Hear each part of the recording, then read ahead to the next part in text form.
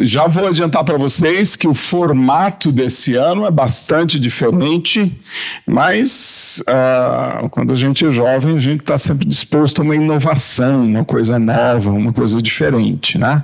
E também estamos prontos para enfrentar os riscos de fazer alguma coisa nova. Então, nós temos um formato bem novo para isso. Nós vamos ter seis temas nesses três dias, dois temas por dia. E esses temas, eles não vão ser trabalhados com palestras, eles vão ser trabalhados de uma maneira um tanto quanto diferente. Nós vamos começar é, sempre é, com abertura, dando boas-vindas para vocês, e logo em seguida a gente é, vai fazer. Uh, hoje nós vamos fazer uma dinâmica, explicar a dinâmica né? Depois nós vamos, é, eventualmente, por causa dos que vêm novos, explicar como é que nós vamos usar a ferramenta é, ou aplicativo que a gente precisa. E aí nós vamos apresentar uma história. São seis histórias, cada tema tem uma história.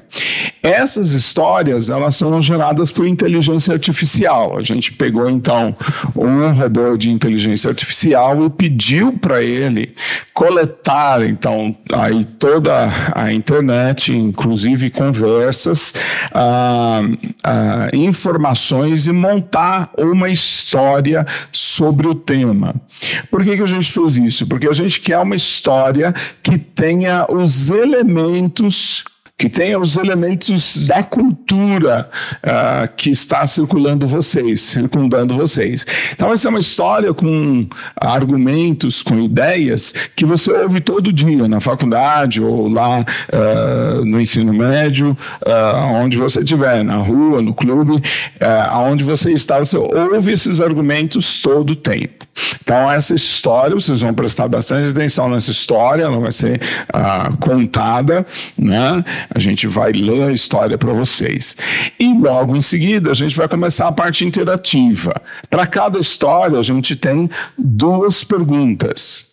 E aí, a gente vai fazer a primeira pergunta e vocês vão uh, entrar no aplicativo, como o, o João vai explicar, vão entrar no aplicativo e vão nos dar respostas bíblicas. Você precisa dar uma resposta bíblica. Né?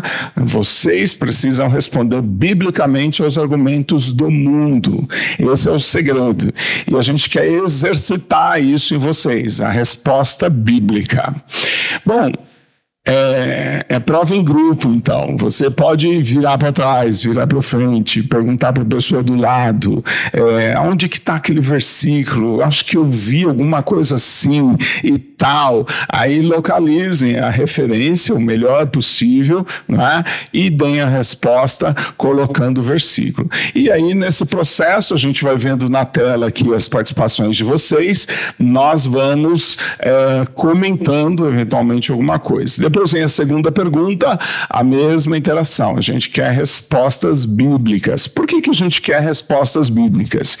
Olha o que João diz sobre isso, lá em João, primeira carta de João, capítulo 2, versículo uh, eh, 14. Ele diz assim: Filhinhos, eu lhes escrevi porque vocês conhecem o Pai. Pais, eu lhes escrevi porque vocês conhecem aquele que é desde o princípio. E jovens, jovens, eu lhes escrevi porque vocês são fortes. Por que, que vocês são fortes? Quando é que vocês são fortes? Porque em vocês permanece a palavra de Deus e vocês vencerão o maligno. Né? Ah, mas o maligno está pegando no meu pé, eu estou passando por aí muita, tô, muita tentação, de vez em quando até cai em uma aí. O né? que está faltando? O que está faltando? Palavra. Escondi a tua palavra no meu coração. Isso é figura de linguagem para memorizei as escrituras. Então, nós temos no Brasil um sistema pedagógico totalmente contrário a, a, a fé bíblica. Né? Esse sistema privilegia a opinião sobre as coisas, ao invés da aquisição de conteúdo. A Bíblia conteudista, né? ela passa longe de, uma, de um sistema paulo-freiano, de um sistema opinativo, dialogal. Ela quer que você tenha conteúdo. E, de fato, gente, a neurociência já mostrou que o pensamento depende do conteúdo. Você só vai dar opinião a partir daquilo que você tem, aquilo que você sabe. Né? Se você não sabe as coisas, a sua opinião não tem valor absolutamente nenhum. Então a Bíblia é conteudista, ela quer que você tenha conteúdo. Você tem que memorizar a palavra de Deus para, na hora de, da, da, necessidade, você reagir rapidamente. E a gente quer dar o exemplo aqui. E a gente quer exercitar vocês nisso. E a gente quer que, a partir uh, de agora, você dê mais valor ainda a lembrar a palavra de Deus em todas as situações, em todos os momentos. Então, a gente vai fazer duas perguntas. A primeira pergunta, e aí vamos dar 10 minutos, mais ou menos, para vocês conversarem, para você virar para o lado, para você ficar em pé, andar, ir no outro. E nesse espaço aqui, o celular vai ser muito útil. Caso você não consiga utilizar o seu celular, é, por algum motivo, use o celular da pessoa do lado, né? Fala, escreve aí e tal, pede para ele escrever por você. Ah, em último caso, escreve num papelzinho e manda aqui para gente e nós vamos, é, vamos procurar vamos considerar aquilo que você vai dizer sobre esse assunto. Então, basicamente, nós vamos colocar o problema através de uma história gerada por, uh, por inteligência artificial e aí nós vamos, uh, uh, a gente usou o chat VPT para isso, então muitos de vocês conhecem, então aí a gente vai eh, depois pegar essas, essa ideia, né, esse tanto de ideias eh, que mundanas, né, que o mundo defende sobre cada um desses pontos e vamos responder isso biblicamente. Tá joia? Entenderam isso? Legal? Estão dispostos a embarcar nessa novidade aqui, eh, junto com a gente? Se der alguma coisa errada, a gente corrige para amanhã. Então, a gente vai procurar trabalhar da melhor forma possível. E nós trabalhamos seis temas que são os mais urgentes para a geração de vocês. São aquelas coisas que estão ali no pé mesmo uh, com vocês. Muito bem. Vou pedir para uh, ah, o João Marcos voltar aqui para explicar, então, como é que o uh, aplicativo vai funcionar e logo em seguida a gente vai apresentar a história. Ok. Então, consciência cristã jovem, ao invés de mandar desligar o celular, a gente está pedindo para manter ele ligado, né? Mas não se distraia. A gente quase que lotou aqui embaixo, ainda tem alguns lugares, então algumas pessoas subiram. Cuidado para vocês não ficarem jumping aí, ficarem voando. Ah, tentem aterrizar aqui e participar, ok? Muito importante vocês estarem presentes. Joia. E agora, então, a gente vai para história de hoje. O nosso tema hoje é o reino de Deus sobre a sexualidade. A sexualidade é uma parte extremamente importante da adolescência e da juventude. Né? Ah, e um dos aspectos mais importantes sobre isso é justamente a definição sexual, ou seja, a definição uh, de quem eu sou sexualmente, de quem eu sou como sujeito sexual.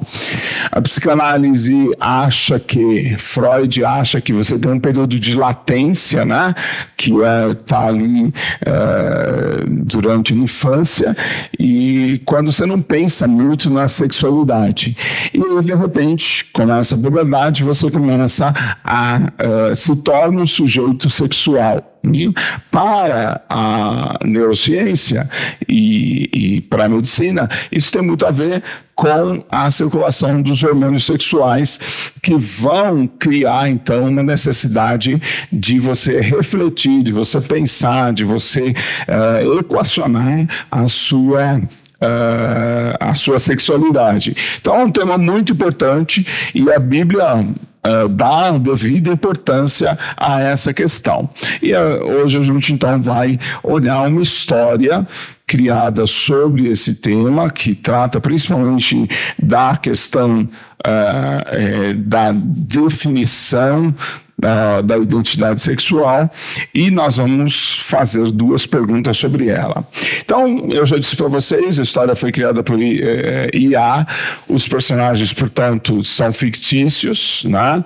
Uh, mas os temas, os, uh, os argumentos são tirados de toda a internet, inclusive uh, o chat GPT utiliza muita conversação, coisas que as pessoas conversaram sobre o assunto então, é, essas questões estão lá presentes. Vamos ver então história. História do Alex. Um, Alex sempre se sentiu um pouco confuso sobre sua sexualidade. Ele cresceu numa cidade pequena, onde não havia muita conversa sobre assuntos LGBTQ, e, uh, etc. E por isso, Alex não entendia que ele podia ou poderia se sentir atraído também por pessoas do mesmo sexo. Quando Alex entrou no ensino médio, ele começou a se sentir cada vez mais inseguro sobre seus sentimentos.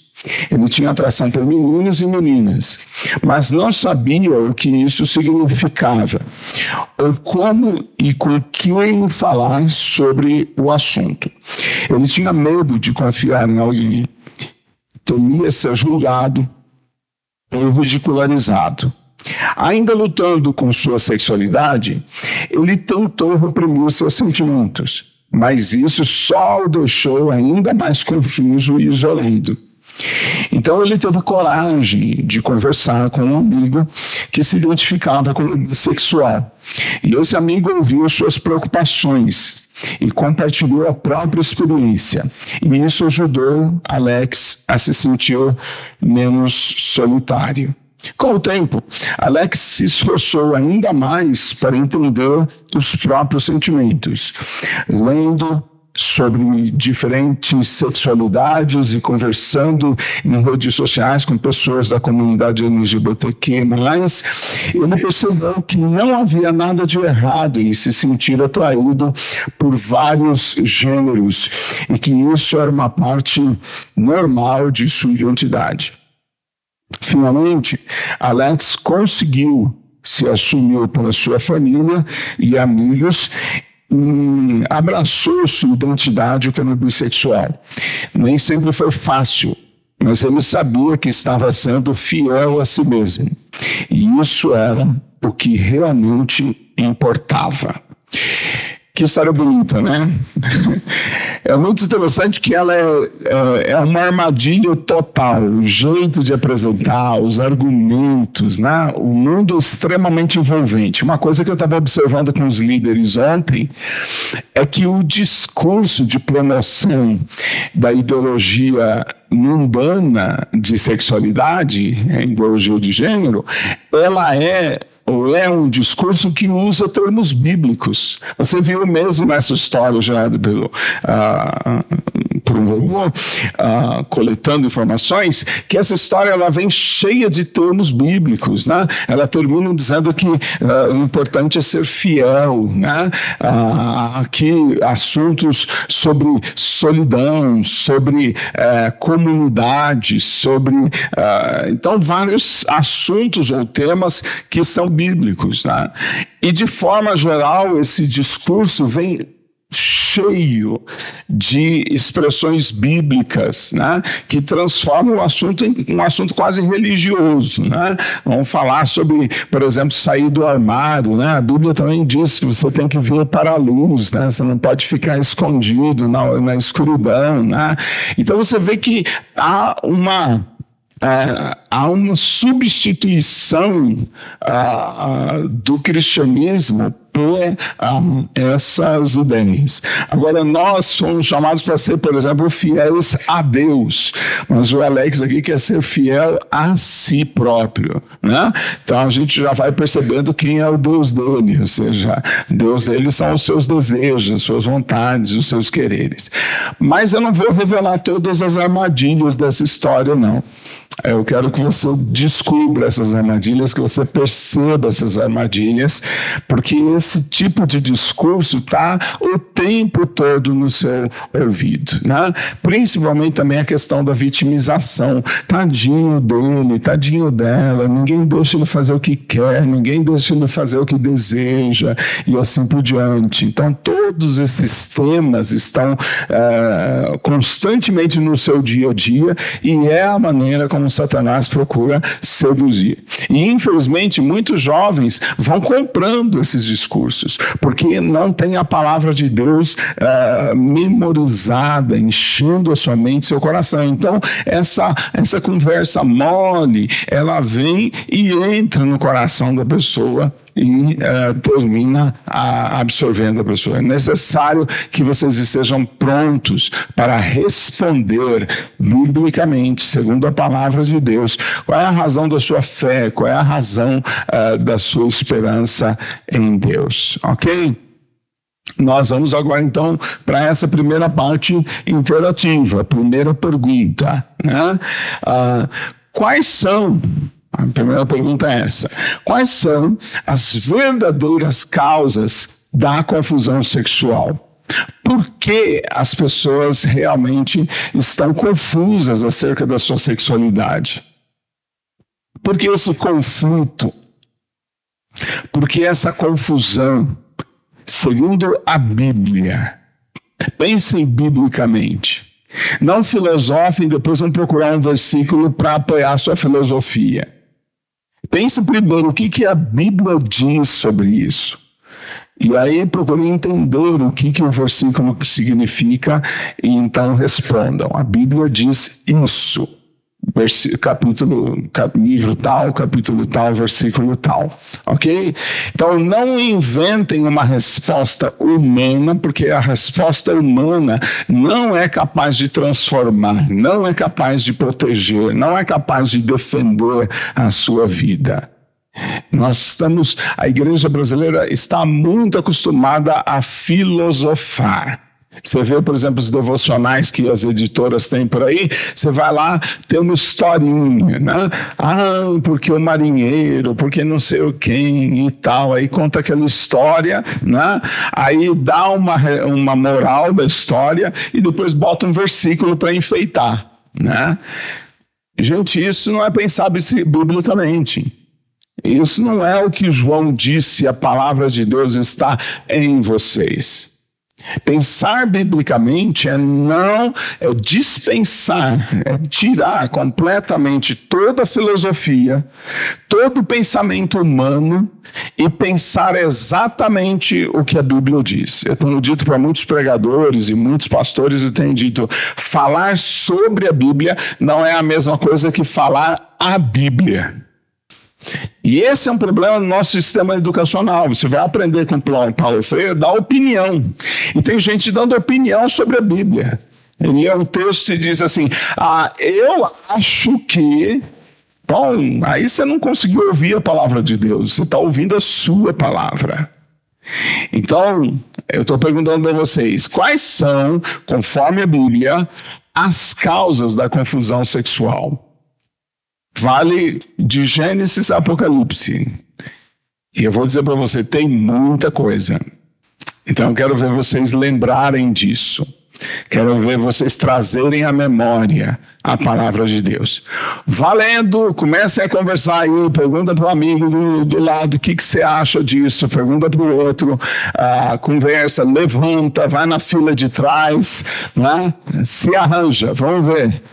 Quero ver a palavra de Deus na vida de vocês.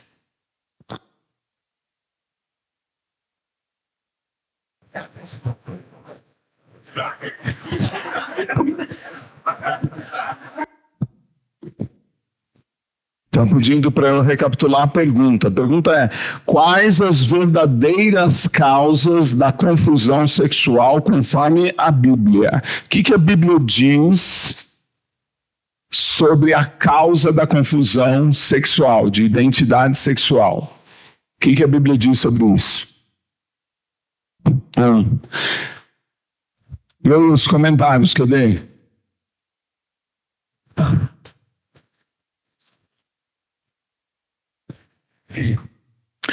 Tem um probleminha técnico aí que está sendo resolvido. Então, vou fazer o seguinte: vou colocar a segunda pergunta para vocês começarem a trabalhar na segunda pergunta já. E vamos ver se a gente consegue resolver esse problema técnico a tempo. Segunda pergunta: quais as consequências da sexualidade contrária à vontade de Deus? Quando você usa a sua sexualidade de um modo contrário à vontade de Deus, quais as consequências disso? O que, que a Bíblia diz que será a consequência, o resultado de você usar a sexualidade de uma maneira contrária à vontade de Deus, contrária ao plano de Deus, ok? Discutam sobre isso. Quais são as consequências? Quais são os resultados de utilizar a sexualidade uh, de uma maneira contrária à vontade de Deus. Na próxima, gente, eu quero eu quero, eu quero uma resposta, uma frasezinha curta e aí a referência. Pessoal, só duas referências. A razão disso é o pecado. É, então, Salmos 51, 5, Romanos 1, 21 e 31, Tiago 1, 12 e 14. E isso tende a piorar. O Judas 1, 17 a 23. Pecado. Então, uh, a gente precisa definir o que é pecado, mas de uma forma geral, é interessante que Romanos 1 apresenta a confusão sexual como consequência do pecado. O pecado do qual Romanos 1 trata é a idolatria. E ele trata a confusão sexual como uma consequência do pecado. Então, o pessoal que uh, trouxe essa, esse comentário aqui está é, com razão. Então, Romanos 1, é, 21 a 31 tem essa ideia. Abusos sexuais. Qual seria a referência bíblica que diz que a confusão sexual é, está relacionada a abusos sexuais? Ah, essa é uma resposta um tanto quanto filosófica, ela depende um pouco da psicologia.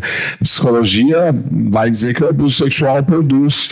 Agora, há pessoas que são abusadas sexualmente, é óbvio que isso fere a sexualidade, mas não necessariamente é, tem essa ou aquela ou aquela outra atitude. Né? Então, é, processo de vitimização, a Bíblia não é muito fã dele, não. A gente precisa considerar isso. O que mais? Romanos 1, 21, 32. Um, a queda desfigurou todas as áreas da existência humana, inclusive a sexualidade. A gente tem que tomar muito cuidado, então, quando a gente tenta definir nossa sexualidade a partir dos nossos próprios desejos e das nossas próprias vontades. Eu quero isso, então deve estar certo. Por quê? Porque o meu querer, o meu desejo é uh, destrutivo, ele está destruído, ele está destruído. Recentemente escrevi um artigo e o Emmanuel vai ajudar agora, mas eu citei uma escritora do começo do século passado, é, lésbica e tudo mais. Essa escritora, ela disse uma frase que me impactou muito, né? Eh, ela disse: "Os meus desejos me destroem." Né?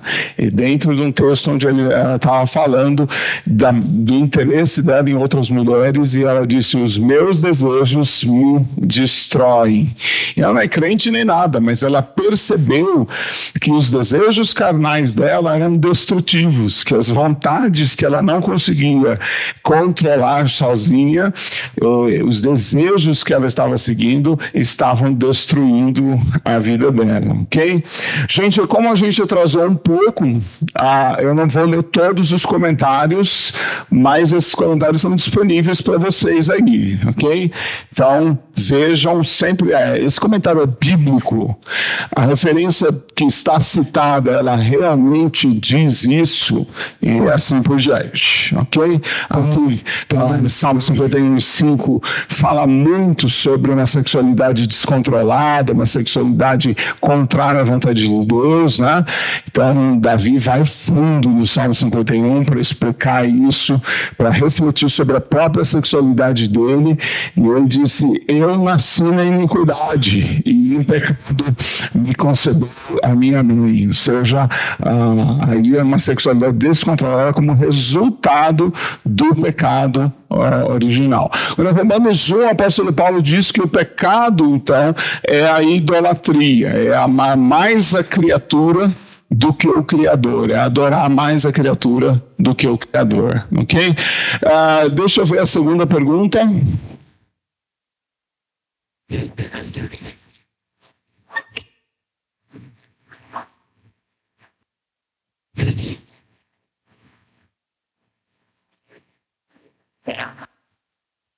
A internet não está colaborando muito hoje.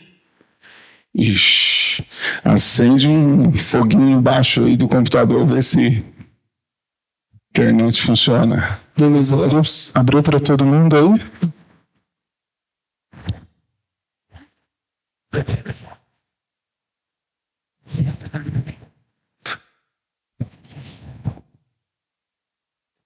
Fazendo um barulhinho de abertura de tela aí. Dois minutinhos para quem não respondeu. Ah, eles ainda estão respondendo. Sim, sim, sim. Eu sei que tinham respondido as duas já. Então, a pergunta de agora, nós estamos querendo saber quais são as consequências da sexualidade contra a vontade de Deus. Quando você usa a sua sexualidade fora da vontade de Deus, o que, que acontece com você?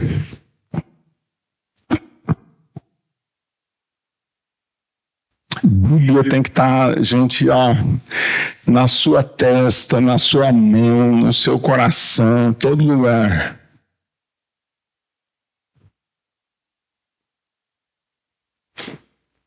Quando você abre a boca, você tem que responder com a palavra de Deus. Sejam crentes bíblicos.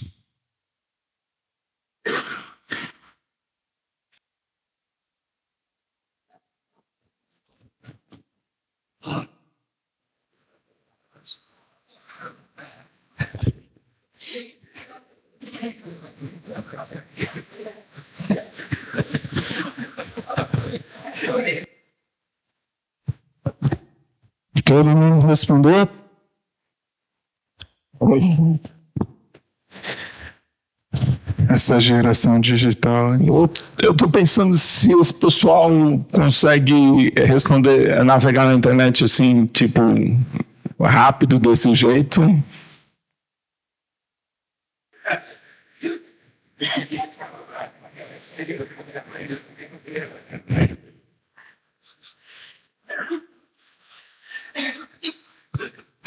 Esse tempo aqui que a gente está esperando já dá para ter assistido uns 30 TikToks já.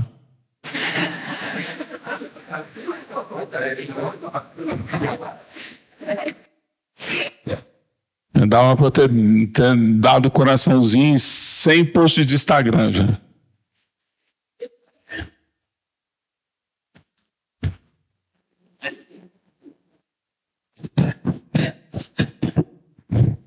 Falando. Vamos lá. Eita. Quais as consequências da sexualidade contrária à vontade de Deus? Ô louco, tá dizendo aqui que não tem nenhuma resposta correta, hein? Tem que converter um monte. O, o aplicativo está julgando as respostas de vocês. A consequência é a entrega ao pecado. Romanos 1 e 26 e posteriormente também. Então, Romanos 1 é um capítulo fantástico para a gente entender essa questão. Eu diria um pouco diferente de quem comentou aí. A consequência do pecado a gente já disse antes que a causa da confusão sexual é o pecado. Né? E Romanos 1 diz que o pecado é adorar a criatura ao invés de adorar o Criador, ou seja, valorizar mais o que a criatura quer, o que ela pensa, o que ela deseja, do que o que Deus quer, o que ele pensa, o que ele deseja. E a consequência é a confusão sexual. A consequência é a confusão sexual. Então, bastante interessante Romanos 1, porque o pecado é outro. Na verdade, o pecado é você se controlar, no, eh, se colocar no altar. É você se controlar, colocar no centro. É você ser o Deus. Ou como o apóstolo Paulo diz aos filipenses, eu sou Deus ser o ventre. Meus desejos, minhas vontades me governam. Eu sigo o meu querer, minha vontade, meu desejo. A consequência vai ser a confusão sexual de diversos tipos, de, das mais diferentes, dos mais diferentes tipos, essa confusão sexual é uma consequência da idolatria do eu, do antropocentrismo, ok? Então, Romanos 1 explica muito bem, uh, foi, fez bem citar Romanos 1 uh, ah, aqui, mas uh, a consequência não é o pecado, a consequência é a confusão sexual. Alguém citou 1 Coríntios 6, 12 a 20. Alguém também citou 1 Coríntios 6 e 9. Levíticos 23. É, certamente morreria, né, com a ideia da morte que acontece nos vários âmbitos, né? A pessoa fica viva, né? Mas é um zumbi, assim, tipo zumbi. A consequência disso é a morte, porque o salário do pecado é a morte, Romanos 6 e 23, e outras referências. A obra de Deus se manifesta, verá punição no próprio corpo. Sabe um pouquinho para mim? Punição no próprio corpo e a falta da verdadeira felicidade que vem da obediência. Romanos 1 e 18, legal, muito joia. Tem uma citação de Hebreus do Doan. Como é? Tem uma citação de Hebreus aqui no azul. Aonde aqui? É. Ah, falta de paz. Seguir a paz com todos e a santificação será como ninguém verá o Senhor. Hebreus 12, 14. Sem comunhão com Deus, não há salvação. Ah, o comentário está complexo, a referência é boa, mas o comentário está um pouco complexo. Talvez não é a falta de paz. Seguir a paz com todos e a santificação, sem a qual ninguém verá o Senhor. Quer dizer, a consequência é não ver o Senhor. Quando você não santifica a sua sexualidade para Deus, quando você não vive a sua sexualidade de acordo com a vontade de Deus, a consequência disso é não ver a Deus. Você não consegue enxergar Deus. E esse é um problema. Muitos jovens começam dentro da igreja a viver uma sexualidade sexualidade contrária à vontade de Deus, e daqui a pouco ele não percebe mais Deus, ele não consegue mais entender Deus, ele não consegue mais perceber a presença de Deus, perceber a palavra de Deus, né? e vai ficando apático, vai ficando descrente e termina caindo fora por causa disso. Aí não, não percebe, mas será que Deus existe mesmo? Bom, ele existe. O problema não é se ele existe ou não, o problema é se você consegue vê-lo ou não. Não. E sem a santificação, ninguém verá a Deus. Portanto, se você não se santifica, você não vê a Deus. Gente, nós estamos bem atrasados, então eu vou dar uma palhinha para vocês rápida qual é o texto que eu escolheria para esse assunto. Gênesis 1, 27 e 28. A gente fala muito hoje de ideologia de, de gênero e a igreja diz assim, horrorizada, ah, ideologia de gênero não pode. Não. Nós temos ideologia de gênero.